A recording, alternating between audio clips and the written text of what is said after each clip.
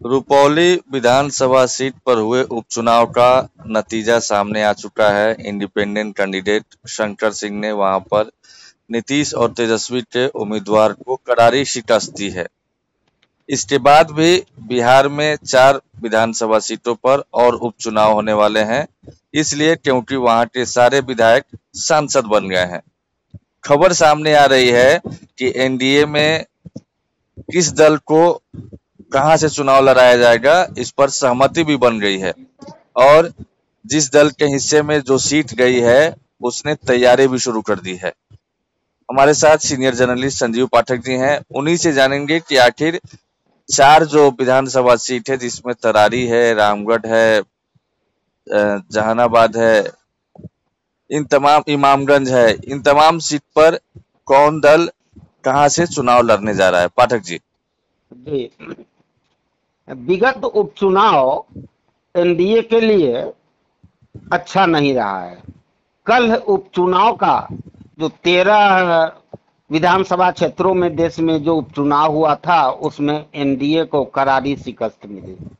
बिल्कुल। अब इस सब इसको देखते हुए तेरह में से महज महज दो सीट मिली है बीजेपी को। जी।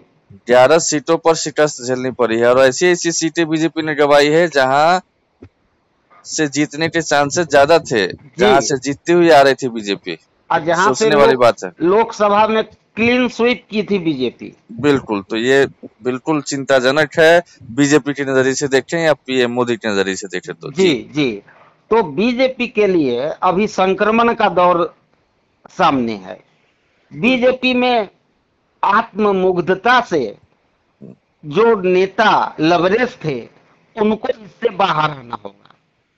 इसके लिए अब बीजेपी प्रदेश स्तर पर तैयारी भी शुरू कर चुकी है।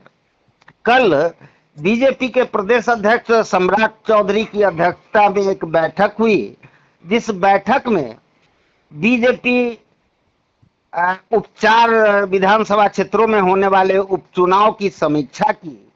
हालाँकि दो मंत्रियों को जवाबदेही भी दी गई है।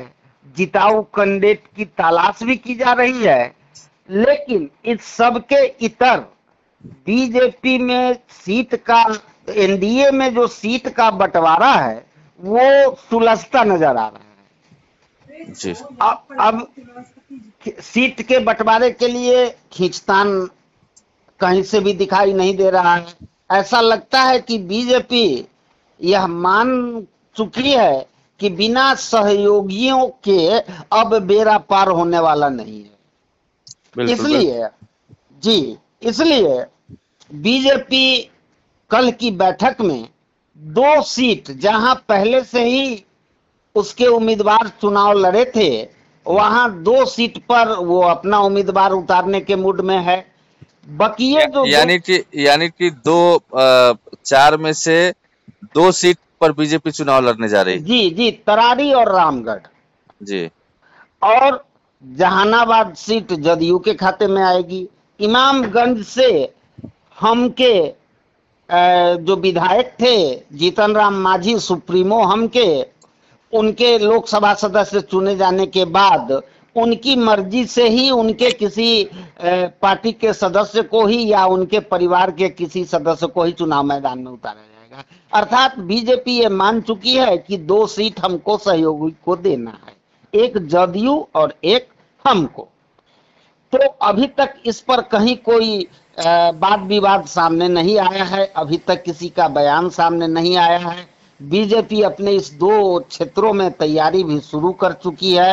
दो हज़ार 2020 में भाजपा करारी रामगढ़ में चुनाव लड़ी थी। अब करारी जो क्षेत्र है, वो तरारी क्षेत्र काफ़ी संवेदनशील क्षेत्र है। तरारी क्षेत्र में चुनाव जीतना भाजपा के लिए काफ़ी मुश्किल साबित होगा। इसके लिए उसे अभी से ही तैयारी शुरू कर देनी होगी। तो भाजपा यहाँ जिताऊ उम्मीदवार की तलाश कर रही है। जी। वैसे 11 जुलाई को राजनाथ सिंह की सभा होने अठारह जुलाई को राजनाथ सिंह की सभा होने वाली थी पटना में। इस चार विधानसभा क्षेत्रों पर भी समीक्षात्मक बैठक की संभावना थी। लेकिन अब जो खबर मिल रही है, उस खबर के मुताबिक राजनाथ सिंह स्वास्थ्य कारण से पटना नहीं आ रहे हैं। उनकी जगह पर कृषि मंत्री केंद्रीय कृषि मंत्री शिवराज सिंह चौहान या सड़क परिवहन मंत्री नितिन गडकरी पटना आ सकते हैं। अब इनके साथ भी चुनाव तैयारी की समीक्षा होगी और तरारी से जिताऊ उम्मीदवार की तलाश है।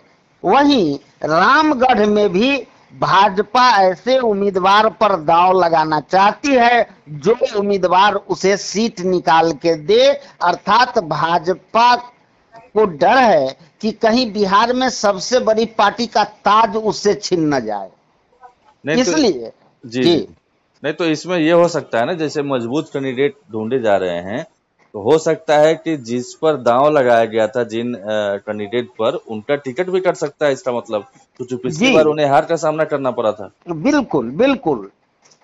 जिन जिनके साथ ये स्थिति थी जो बहुत कम मार्जिन से बहुत कम अंतर से जो जीत हार हुआ था उस उम्मीदवार को थोड़ी सी राहत भी मिल सकती है लेकिन दस हज़ार से ज़्यादा से हारने वाले उम्मीदवार का टिकट तो निश्चित रूप से कट सकता है। जी जी। क्योंकि भाजपा अभी कोई भी रिस्क लेने के मूड में नहीं है। वो चुनाव को एक जंग की तरह लड़ना चाहती है और अपनी बादशाहत कायम रखना चाहती है। नहीं तो ऐसे में तरारी सीट पर बीजेपी के जो उम्मीदवार थे पिछली बार वो तीसरे नंबर पर रहे थे और इंडिपेंडेंट कैंडिडेट के तौर पर सुनील पांडे वहाँ पे दूसरे नंबर पर रहे थे और सुनील पांडे ने मुलाकात की नीतीश कुमार से। सुनील पांडे अभी है आरएलजेपी में यानी पति पारस की पार्टी में। तो उनकी संभावना क्या देख रहे हैं? क्या पार्टी बदलेंगे तो जेडीयू क्या अदला बदली सीट करेगी या फिर बीजेपी ही वहाँ कैंडिडेट देगी और बीजेपी के सिंबल पर सुनील पांडे लड़ सकते हैं? क्या समीकरण दिख रहा है? समीकरण सुनील पांडे के रिश्ते भाजपा में भी अच्छे हैं। जी। मु- मुख्यमंत्री नीतीश कुमार से भी उनकी मुलाकात हुई है और इनके रिश्ते भाजपा में भी अच्छे हैं। और ये पिछले चुनाव में दूसरे नंबर पर थे। और क्षेत्र से ही बखूबी परिचित है। दो तीन दफ़ा विधायक भी रह चुके हैं। जी जी। तो अगर भाजपा के खाते में सीट जाती है तो हो सकता है भाजपा सुनील पांडे को ही अपनाए और उन पर ही अपना दांव लगाए। अन्यथा ये भी चर्चा है कि तरारी जो सीट है वो तरारी सीट जदयू अपने खाते में ले और सुनील पांडे को वहाँ से लड़ाया जाए। ये भी चर्चा है। पार्टी के बड़े सूत्रों का दावा है कि सुनील पांडे जदयू की ओर रुख कर, कर रहे हैं। और सुनील पांडे जदयू से के कुछ ऐसे नेताओं से भी इनकी मुलाकात हुई है मुख्यमंत्री नीतीश कुमार से भी इनकी मुलाकात हुई है और संभवतः सुनील पांडे जदयू के लिए तुरुप का इक्का साबित होंगे। तो ऐसी सूरत में अगर जदयू को सीट मिलती है तो अदला जी। तो अदला बदली होगी तो फिर तो जदयू के खाते में जो सीट है चार में से एक जहानाबाद की।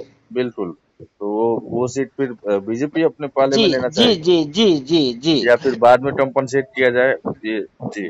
जी ये अंदर खाने में बात चल रही है। अभी अभी कुछ बात सामने नहीं आई है जो बड़े बड़े नेताओं हैं नेताओं की अपनी अपनी अलग अलग राय है। उस राय के मुताबिक हम आपको अभी बता रहे हैं कि कुछ बड़े नेता जो टिकट बंटवारे में अपनी बादशाहत कायम रखते हैं उन ने, नेता के द्वारा जो कहा गया ऑफ़ द रिकॉर्ड बयान जारी हुआ उसमें ये कहा गया है कि ऐसी स्थिति अगर होती है तो भाजपा इस पर विचार करेगी। तो भाजपा अगर विचार करेगी इस पर इसका मतलब तर, सुनील पांडे तो तरारी छोड़ के कहीं दूसरी जगह जा नहीं पाएँगे क्योंकि उनका क्षेत्र वहाँ है और वो दूसरे नंबर पर रहे थे तो अभी ये कहना मुश्किल है कि रामगढ़ और तरारी निश्चित रूप से भाजपा लड़ेगी लेकिन जहाँ तक संभावना है कि कहीं भी दो सीट भाजपा लड़ेगी एक सीट पर जदयू का उम्मीदवार होगा और एक सीट पर हम पार्टी चुनाव लड़ेगी हाँ, ये तो तय है कि इमामगंज से हम जितन मांझी हैं तो हम का कैंडिडेट लड़ेगा। कौन लड़ेगा ये चर्चा चल रही है लेकिन उनके छोटे पुत्र भी हैं उनकी बहू भी है कई दावेदार हैं वहाँ से। अब किसको सिंबल देते हैं जितन मांझी देखने वाली बात होगी। उसी तरीके से जेडीयू में भी कई उम्मीदवार हैं और बीजेपी के भी कई उम्मीदवार हैं। देखने वाली बात होगी कि किसको टिकट मिलता है किसकी लॉबी काम आती है। फ़िलहाल एनडीए में दो सीट बीजेपी एक सीट हम और एक सीट जेडीयू के खाते में जाता हुआ दिख रहा है। यही पाठक जी ना? जी जी जी जी। चलिए बहुत बहुत धन्यवाद। धन्यवाद।